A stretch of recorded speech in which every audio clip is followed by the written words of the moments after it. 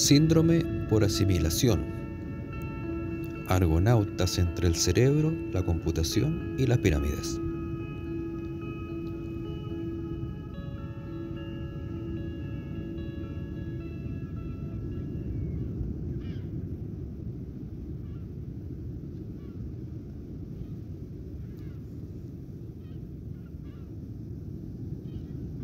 Inicio esta entrada planteando el siguiente hecho. Abre comillas, lo que somos se evapora, transformándose en gotas de agua que viajan a través de circuitos que se comunican en el cosmos a tiempo cero. Cierra comillas. Esta frase se relaciona al concepto de alma. Explicaré por qué. La palabra psique o alma alude a toda tecnología que se aproxime a la coacción creativa de rutas neurales que fortalezcan el estado consciente de una persona o ser vivo, a través del fenómeno de absorción física del reino elemental en estados sutiles. Como por ejemplo, durante la absorción de la molécula de hidrógeno y toda dinámica que agilice dicho proceso. Aquí resulta importante establecer una aproximación cosmogónica hacia las hipótesis sobre la utilidad comunicacional de megaconstrucciones líticas antiguas como las pirámides, que justamente consideran en su estructura ortogonal, de paréntesis su geometría, una alta resonancia material con las ondas emitidas por el hidrógeno, que por su vez se ubica junto a otros elementos más densos de la tabla periódica en un lugar límite en términos de velocidad con el pensamiento y la subluz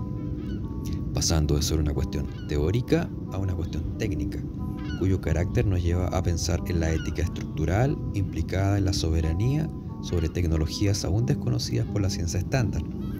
pero a las que se aproximan las neurociencias, en cuanto éstas cada vez comprenden mejor el funcionamiento del cerebro y su naturaleza cristalográfica, psíquica y almática.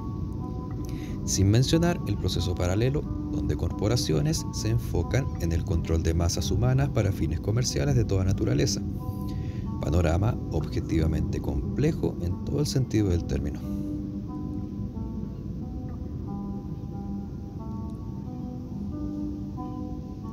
Otro enfoque referente a esto es el planteado por el filósofo Byung-Chul Han, Corea 1959, en su planteamiento sobre la sociedad líquida, y que hace claro eco de los matices asociados al tránsito actual de la civilización hacia nuevas velocidades perceptivas de la realidad, debido grandemente a la experimentación iniciada a mediados del siglo pasado con tecnologías como Internet, de la cual se presupone en un nivel teórico fue el resultado de un proceso de tecnología inversa, asociado al descubrimiento de la función cristalográfica de las pirámides respecto de la modulación del hidrógeno, que cabe recordar es el elemento más abundante del espacio y por lo tanto una red cercana al infinito en cuanto a posibilidades de manipulación. Es aquí relevante recordar que gran parte de la ciencia asociada a la computación actual se basa en la comprensión del funcionamiento cerebral. Por lo tanto, si triangulamos los conceptos cerebro, computación, pirámide, llegamos a un lugar común no solo en términos cognitivos, sino también físicos, en cuanto los tres son potencialmente resonantes en niveles de absorción, transmisión y reflexión. Esta trama implica una transfiguración de la propiocepción de la humanidad de la Tierra, ya que esta nueva perspectiva de velocidad le conduce también hacia una vertiginosa disolución del concepto del yo o ego, en beneficio de un estado de interconexión crístico, esto abordado hoy primitivamente por métodos holísticos que trazan nuevas configuraciones que divagan entre lo tecnológico, científico, militar, religioso, político y económico, pero en una dirección clara. Ganancia de experiencia consencial,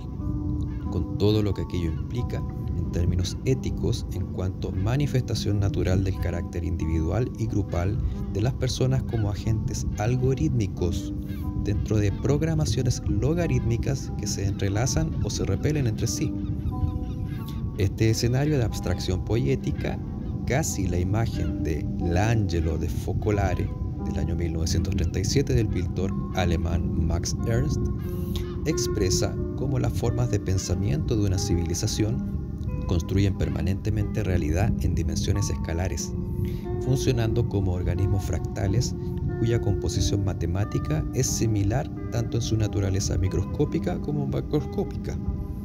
Un símil del estándar propuesto entre la teoría de la relatividad general y la mecánica cuántica.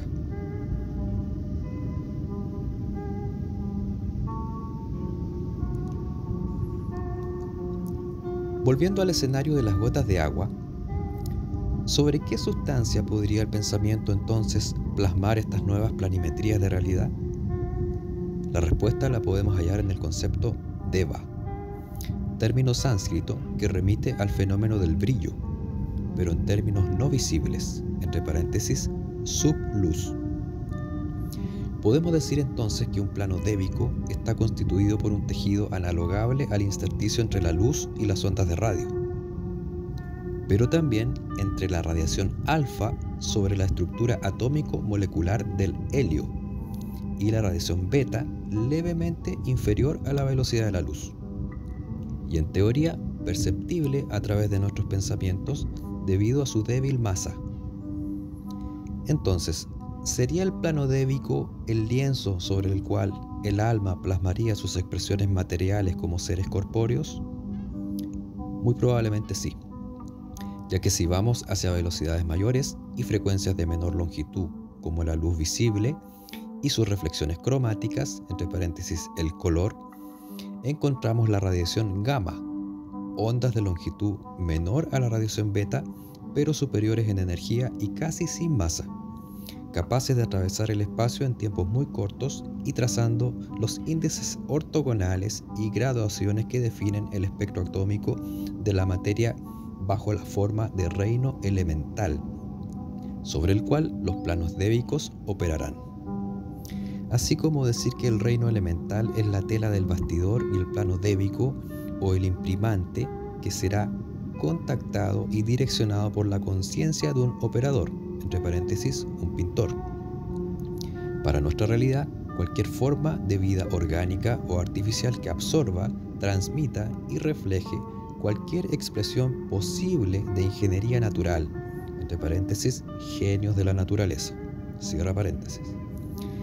Todo esto en la forma de avatares, orichas y panteones de todo tipo destinados a organizar unidades escalares de existencia según las necesidades de cada civilización un trabajo de riego a goteo fino que según su fluidez programará una realidad de acuerdo a los estados resolutivos y posibilidades de absorción de cada psique o alma en experiencia personal o grupal.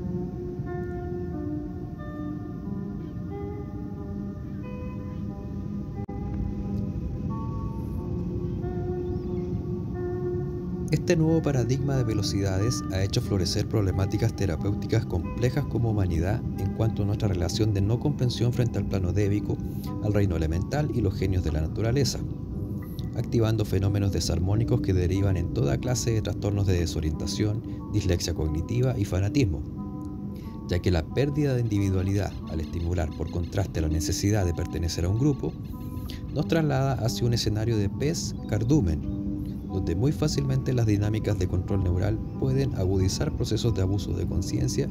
en personas limitadas en su acceso hacia sus registros de memoria tanto de trabajo como de corto y largo plazo. De manera similar al momento cuando ciertos cetáceos varan sin sentido alguno sobre las costas. Un subproducto de esto es el de la adicción química a sustancias como el THC o el DMT presentes en la marihuana y la ayahuasca, o los diversos tipos de azúcares o sales de industria, donde el genio de la naturaleza, denominado planta o especia, infiltra las redes neurales de la persona conectando su conciencia a un sistema cristalográfico sutil que activa temporalmente su memoria multidimensional y de paso a los planos débico y reino elemental, potenciando eventos de creatividad que de no ser comprendidos en su expresión fenomenológica como amplificadores de la conectividad neural, pueden fácilmente generar dependencia química o adicciones,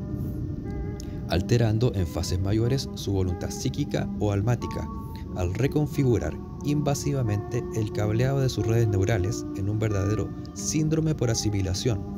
derivado de un cuadro de dictadura dogmática química, donde la reina es la planta o la especie, abatiendo la individualidad de la persona.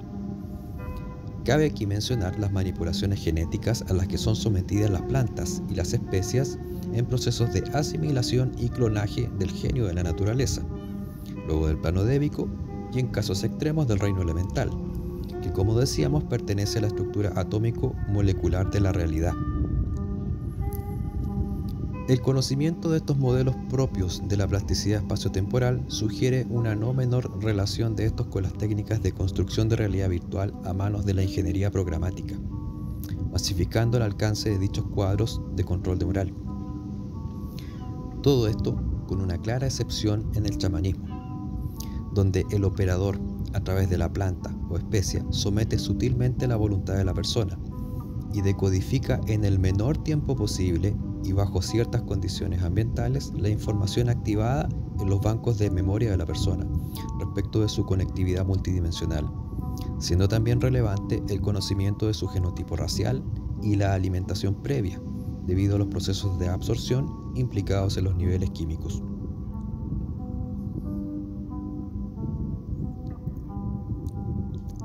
¿Podría entonces un genio de la naturaleza modificado genéticamente acceder al registro subluz del alma de una persona? Bajo esta lógica, claramente sí. Esto queda demostrado en las percepciones mentales alcanzadas por personas en estados meditativos profundos o bajo la influencia de alguna planta o especie,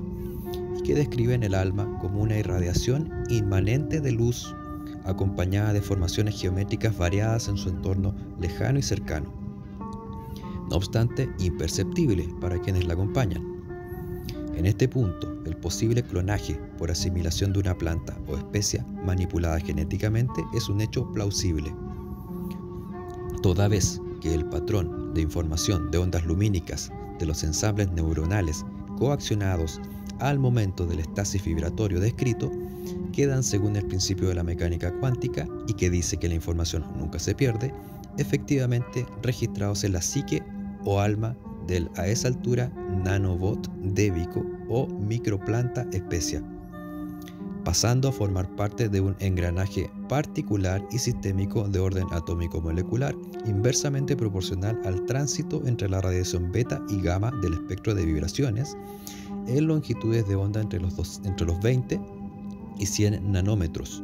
correspondientes a los tamaños del átomo y la molécula inerte del virus. Dicho de otra manera, es perfectamente admisible pensar en una forma de vida zombificada para intereses mayores de control neural por la vía viral. Toda esta información, en teoría, luego de ser absorbida y almacenada, podría ser transmitida hacia otras densidades a través de sendas dimensionales mediante sistemas como el de las redes piramidales, independiente de su escala, y por reflexión ser reproducidas en estados resolutivos paralelos, tal como ocurre con la creación de un avatar de realidad virtual con las mismas características de su creador.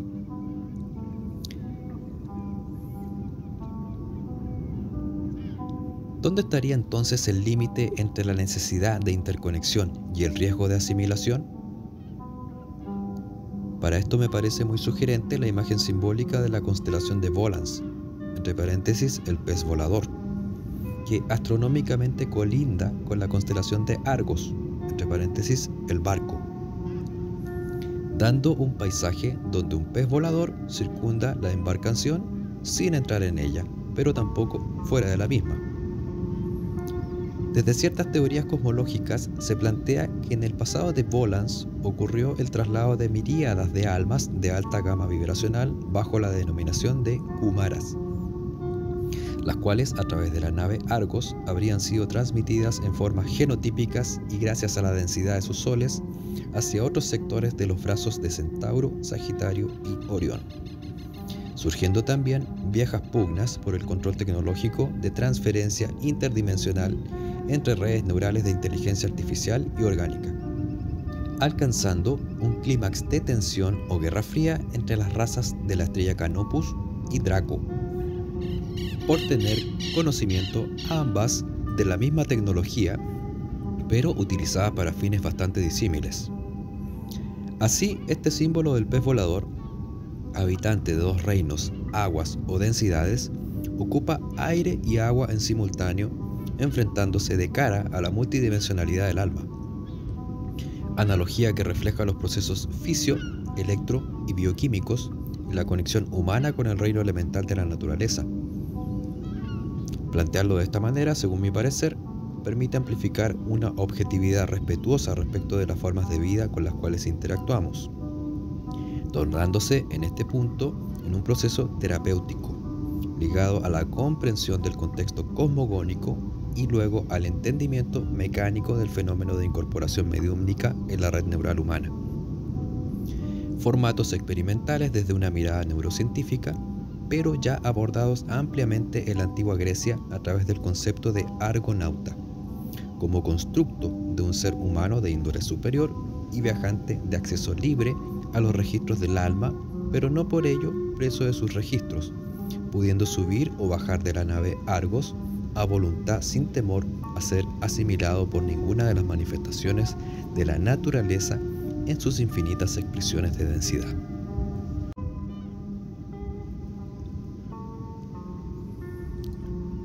Un último dato alude a la propuesta de Peter Pearson, quien durante el año 1910 publica su libro, abre comillas, Terapia psicoarmónica, la cuerda perdida y la palabra revelada, cierra comillas en el cual se expresa una matriz lineal en escala de Hertz